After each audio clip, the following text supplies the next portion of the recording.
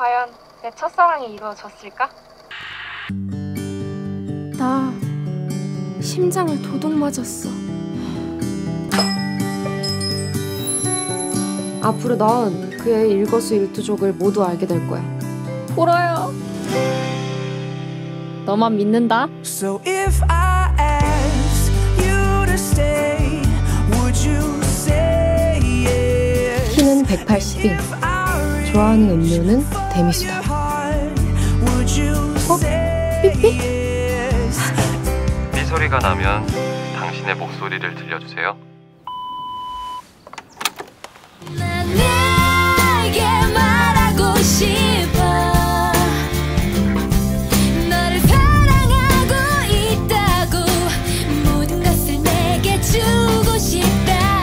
연두야, 나도 심장이 좀 이상한 것 같아.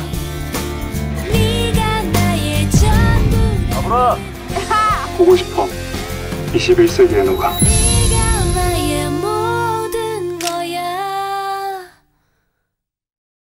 21세기에는